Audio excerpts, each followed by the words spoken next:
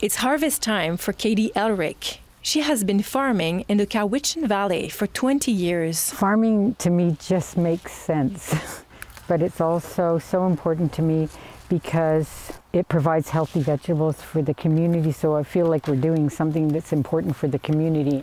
The Elric Farm and Cafe depend on groundwater and uses every bit very carefully.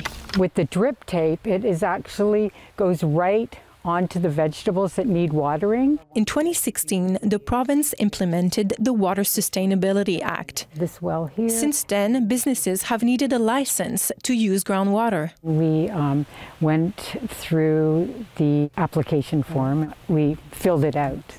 That was like in 2020. She says in July, provincial enforcement officers came to the farm and told them to stop using groundwater. And we were like shocked. We really didn't know what to do at that point. The province had no trace of her initial application, so Elric applied again. They're so backed up in the um, processing groundwater license that it probably be two to four years. That's why I'm saying that this is a, a threat to food security in the Cowichan Valley. This hydrologist helps businesses apply for groundwater licenses. He says long wait times will cause more problems. Will they wait years until they hear back from the government? Or will they just simply say, forget it, I'm just going to not apply and hope they'll never find out?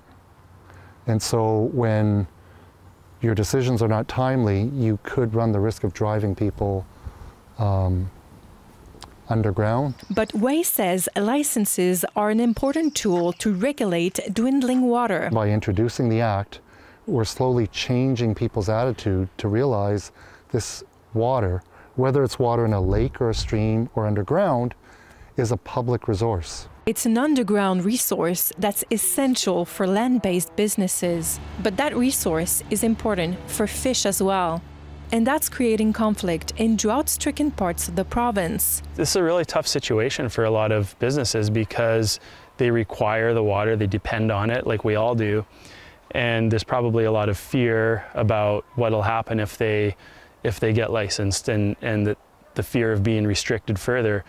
But the fact is that we are we are in very desperate times right now with unprecedented drought.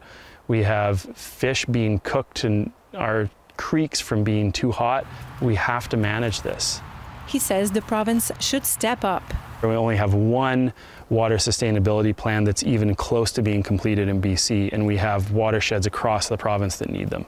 Come on, cows! Recently, Katie Elric was allowed to use the groundwater again while she waits to hear back. It still feels very stressful.